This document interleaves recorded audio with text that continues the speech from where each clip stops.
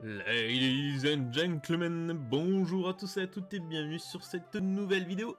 J'espère que vous allez bien. Aujourd'hui, on se retrouve pour une vidéo de patch note sur Spellslinger. Enfin, enfin la fin de la tyrannie de Ral.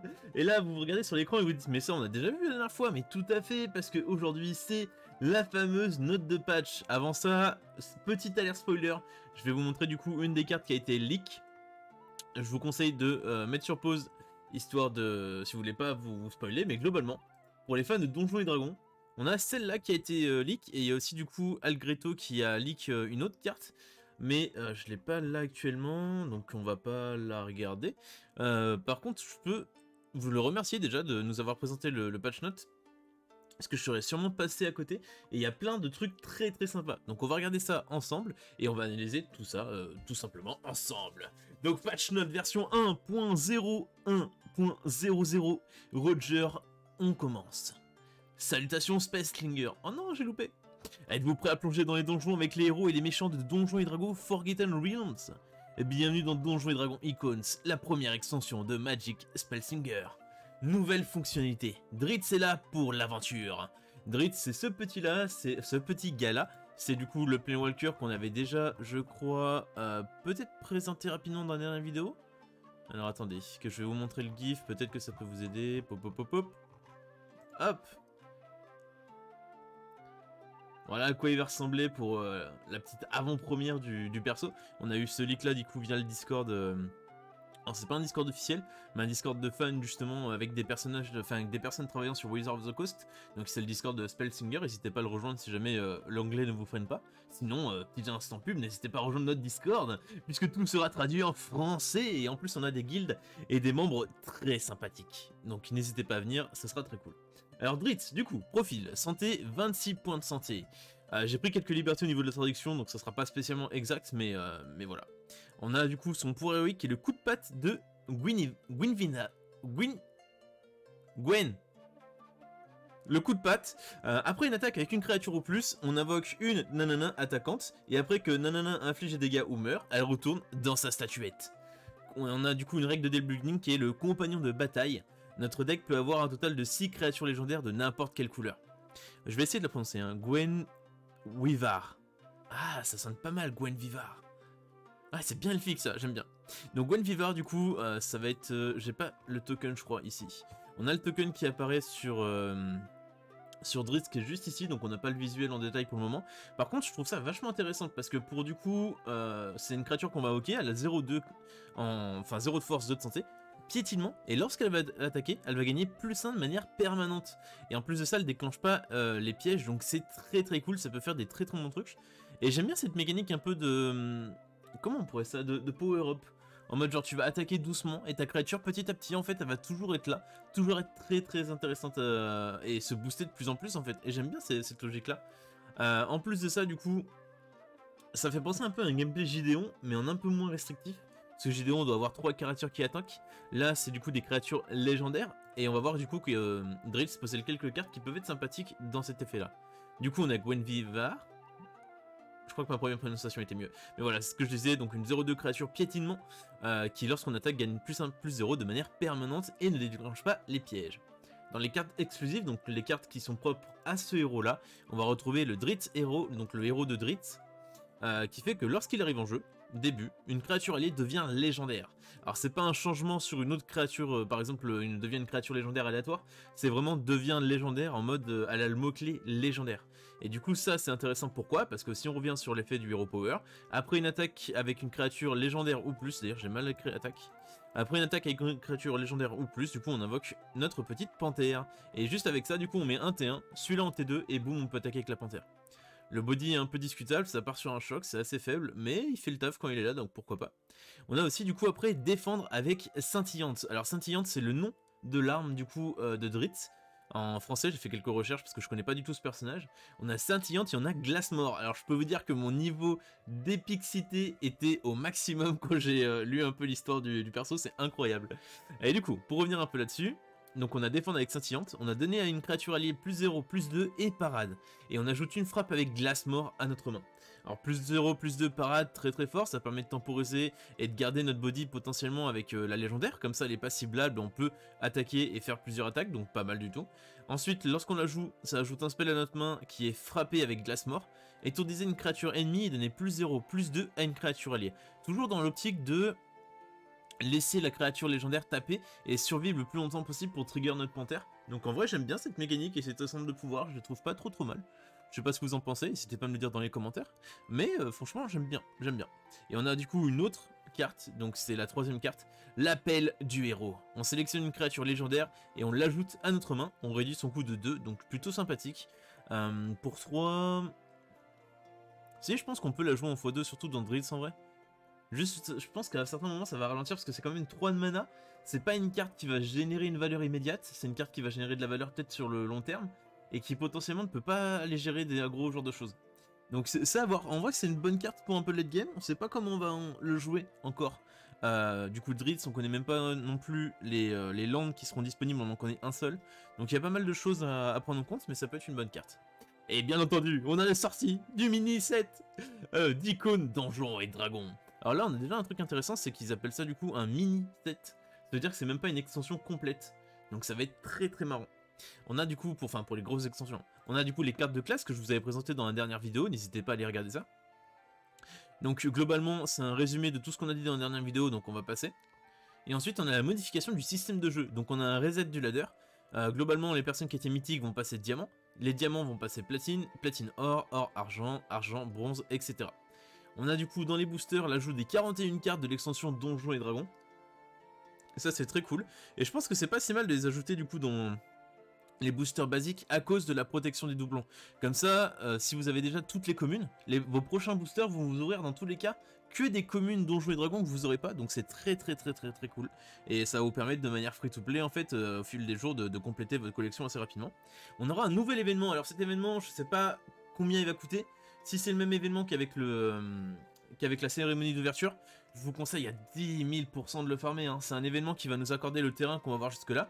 Et en fait, les terrains, on peut les avoir qu'en un seul exemplaire. Donc une fois que vous allez, euh, si c'est vraiment comme cérémonie d'ouverture, une fois que vous allez du coup terminer cet event, vous allez récupérer votre terrain, vous allez pouvoir le refarmer pour récupérer à nouveau une copie de ce terrain, et cette copie-là va être utile uniquement pour les ressources. Et les ressources permettent de crafter des cartes artefacts, que ce soit des cartes normales ou des cartes foils pour augmenter votre niveau clé. Donc je vous conseille vraiment de farmer cet event si on peut récupérer euh, ce petit terrain. Et en plus du coup, bon, pareil, les éclats de Mox, hein, on, sait tous l'importance que ça peut avoir. Donc du coup, on a un nouvel événement qui commencera à partir de maintenant. Alors à partir de maintenant, c'est pas aujourd'hui, je pense que le, le patch sera disponible demain. À l'heure où je tourne cette vidéo, donc on est le 7, donc ça sera disponible je pense le 8 et ça durera du coup jusqu'à 17h le 16 septembre. On peut participer à l'événement du coup Into the Portal pour gagner des éclats de mox et une copie de la carte du terrain mystique euh, The Hongwing Portal. Et qu'est-ce qui fait ce petit terrain? À partir du jour 6, on a une chance d'ajouter une créature légendaire aléatoire dans notre main à la place de piocher. On n'avait pas encore cette mécanique de à la place de piocher, tu ajoutes quelque chose. Avant, on avait surtout à la place de gagner une gemme de mana, tu à quelque chose. Là, c'est vraiment, ça remplace votre pioche. Donc ça sera à prendre en compte en fonction de, la classe que vous choisissez. Au tour 6, si vous avez eu le temps de mettre en place votre classe ou pas. Parce qu'à la place de piocher, ça peut ralentir potentiellement votre, votre jeu aussi. Et si c'est le cas, du coup, si on ajoute une créature, si on fait le trigger, la gemme de mana acquise ce tour sera une gemme de mana vide. Donc on perd pas du mana. Là, c'est du coup intéressant. Parce qu'on conserve notre, notre avantage en mana. Là où du coup les autres terrains enlèvent le mana pour ajouter un effet euh, positif généralement. Et du coup, c'est une autre façon de voir les choses et ça me paraît pas trop trop mal. Hâte de voir ce que ça va donner. On a un petit ajout dans la vitrine des decks, donc c'est un ajout de, des nouveaux decks de classe pour chaque Spellsinger, y compris Dritz, donc normalement, enfin c'est juste en fait un, un réassort, on va dire, de chaque Spellsinger de deck Spellsinger, parce que dans le jeu, on a ce qu'on appelle la vitrine de deck. Chaque jour, vous pouvez du coup euh, regarder des decks qui vous sont présentés par le jeu, et vous en inspirer, copier les decklists, etc. C'est plutôt sympa en vrai. Euh, j'aime bien regarder pour, euh, pour avoir un peu d'inspiration. Et là, du coup, on aura des nouveaux ajouts avec des cartes de classe. Donc des cartes de classe pour chaque Spellsinger, donc ça ajoute pas mal de, petits decks, donc c'est plutôt cool. Dans la boutique, du coup, les offres quotidiennes et spéciales offriront des cartes Donjons et Dragons Icons, donc du coup, de l'extension, pas mal. Sur les défis, on a un nouveau défi avec jouer des cartes légendaires qui apparaîtra dans la rotation des défis. Là-dessus, pas de souci. Et là, et là, je pense que c'est ce qui potentiellement peut intéresser beaucoup de gens, c'est le changement des cartes et de gameplay. Généralement, de nouvelles entrées dans le pool des cartes, telles que Donjons et Dragons Icon, peuvent faire le plus gros du travail lorsqu'il s'agit de secouer le metagame. Alors je sais même pas si on peut vraiment parler de metagame sur euh, Spellsinger. Je pense que chaque deck a vraiment une chance de s'exprimer. Mais Ral était, était, vraiment très très complexe à gérer et euh, du coup c'était pas genre un metagame, c'était juste un héros metagame. voilà, il n'y a pas grand chose à dire parce qu'il n'existe plus maintenant, donc ça va être très bien. Profitez-en profitez hein, si vous voulez euh, ressentir la puissance de Ral pendant encore quelques heures. Je sais pas si c'est un bon message que je véhicule. Mais en tout cas, voilà, Ral s'apprête à, à prendre bagage. Cela dit, il y avait du coup deux interprètes hors concours que nous voulions aborder tout en ajoutant de nouvelles cartes dans le jeu. Donc c'était Liliana et Ral. Alors pourquoi Liliana? Parce que Liliana dans les ligues, ce qu'ils appellent inférieures, donc les ligues je pense euh, en dessous du diamant, voire du platine, c'est euh, une présence assez élevée de parce que c'est un perso qui est relativement simple à prendre en main et qui n'a pas besoin de grosses cartes. Donc euh, sur le, pour vous accompagner jusqu'au rang je pense platine, c'est un très très bon héros. Et son hero power, en fait, moi, c'est ce que j'aurais modifié. Là, ils ont directement tapé, on va le voir sur des créatures, on verra ça après. Le taux de victoire de Ral, voilà, et sa part de metagame dans les ligues supérieures était tous les sensiblement en avance sur ses concurrents. Sensiblement, ouais, ouais, sensiblement, ouais. Totalement en avance, ouais. et Ral, c'était abusé. Et du coup, euh, Ral aussi a eu un petit nerf, donc on va parler des Spellsingers, donc de Liliana. On passe d'une santé de 24 à une santé de 23, globalement, c'est pour trade un peu plus facilement. Mais on a toujours le Hero Power qui permet de soigner, donc je suis moyen sûr. Par contre, on a le Goliath. Le Goliath, c'est pas mal, parce qu'avant, on était sur un body de 4-3. Maintenant, on passe sur un body à 4-2, euh, ce qui, du coup, est gérable sur un... Sur un choc. Donc on a juste besoin de partir sur choc, drain de sang si besoin. Euh, sous cette petite anti-bet, du coup, ils vont passer sur le Goliath, ce qui va le rendre beaucoup, beaucoup moins fort. Hein. On va voir aussi un peu plus tard qu'il y a une autre mécanique, une autre carte dans l'Ilena qui est nerf. Et euh, du coup, ça ralentit un peu le, jeu aussi. Mais là, franchement, c'est pas mal, c'est pas mal. On a Ral, du coup, la fameuse foudre du chaos, qui passe de 3 mana à 5 de mana. Et ça, pour les joueurs de Ral, pour ceux qui ont euh, vendu leur âme, j'en fais partie, euh, on, sait, on sait que ça fait mal. On sait que ça fait mal. Parce qu'avant, sur le T6, on avait 20 de dégâts potentiels au tour 6, 20 de dégâts. Et là, du coup, il faudra attendre le tour 10 pour faire les 20 de dégâts ou alors un tour 5 plus, enfin un tour de T5, tout 6, avec les modifications du Hero Power, ce genre de choses, c'est variable. Mais globalement, on a plus l'OTK possible à partir du tour 6, donc c'est très très sympa. À côté de ça, du coup, pour aller euh, justement embêter Ral, il y a deux gros changements. Il y a du coup euh, le grand serpent jaillissant, qui avant coûtait 11 de mana, et réduisait son mana en fonction des spells que vous avez utilisés. Euh, là, qui du coup n'est plus le cas, donc c'était vraiment dans une optique Ral qui du coup passe à 13 de mana et a un body moins intéressant.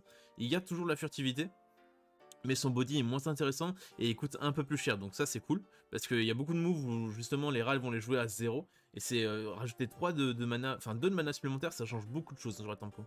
Et du coup, à côté de ça, on a la création de l'éther qui était une 3-3 euh, pour 0. Parce que quand. Euh, voilà, cost 0 if you drafted this stone. Donc, coûte 0 si vous avez sélectionné durant ce tour. Et Ral sélectionne beaucoup, beaucoup, beaucoup avec le spectre et euh, notamment du coup aussi l'étincelle de génie. Donc, ça faisait des trucs assez spéciaux. Sur un T1, on pouvait se retrouver avec 2 T3 en fait.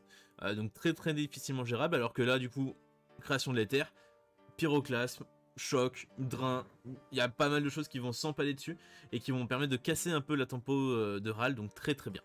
Et on a du coup le Dark Gladiator, le Gladiator Obscur, qui est du coup en nerf là consacré plus à Liliana. On, est, euh, était sur une 5-5 début, donné moins 2, moins 2, et là on passe sur une 6-5, donc avec 1 de puissance supplémentaire, mais en début, donné moins 1, moins 1. Le moins 2, moins 2, hein, c'est pareil, hein, comme on a vu là, les modifications sur les bodies, ça permet en fait de moins gérer des créatures et euh, de de rendre un trade utile sur les sur l'impitoyable mais ça part plus maintenant sur euh, ça peut plus trade beaucoup de créatures ça trade beaucoup moins du coup de créatures et c'est un nerf qui est je pense assez légitime. Ça me choque pas plus que ça. Et à côté de ça du coup on a une correction de bug. Correction de bug du coup là où les cartes ramenées dans la main étaient quand même jouées. Ça c'était un peu chelou. Euh, en fait il y avait des cartes qui euh, ont joué. Ensuite du coup elles disparaissaient elles revenaient dans la main et on devait cliquer sur une sorte de cache invisible pour pouvoir les rejouer. Là, ça a été corrigé. Correction d'un bug, du coup, où un message d'erreur euh, apparaissait en jouant avec, du coup, euh, ou contre Domri. Ou alors, du coup, correction d'un bug ou la fabrication d'une carte d'un jeu importé, donc un jeu copié, provoquait parfois l'apparition d'un message d'erreur pouvant être ignoré. Et correction d'un bug ou la capacité tissage de cauchemar d'Ashiok est jeu parfois à attacher un cauchemar lorsqu'il restait moins de 10 cartes dans le deck de l'adversaire. Donc ça c'est cool, ça c'est cool parce qu'on l'a pas mal ressenti euh, les joueurs de Hashok. On a eu, euh, je crois d'ailleurs quelqu'un qui s'est, qui, a illuminé ce problème sur le Discord en disant que ouais à partir du tour 10 il y avait moyen qu'il y avait des cauchemars qui, qui s'attachaient pas ou qui se déclenchaient pas. Donc là c'est un problème qui a été réglé sur Hashok donc on est tous plutôt contents. Je sais pas ce que vous pensez de cette petite mise à jour. En tout cas, moi, me hype pas mal. Déjà, sur RAL, en fait, ça va être un, vent de fraîcheur. Euh, sur le ladder aussi, ça veut dire qu'il nous reste très peu de temps si vous laissez de grind le ladder pour sécuriser votre top 100 et on a pas mal de nouveautés qui vont être mis en place. Donc tout ça je pense que ça viendra à partir de demain. Euh, donc on fera un live demain pour, euh, pour justement présenter un peu tout ça. Donc si jamais vous voulez nous rejoindre sur, Twitch, Twitch le lien est dans la description. Si vous voulez nous rejoindre sur Discord le lien est dans la description. Je rappelle on a un Discord en fait communautaire sur les jeux de cartes. Donc vous pouvez voir à gauche les différentes catégories qu'on possède.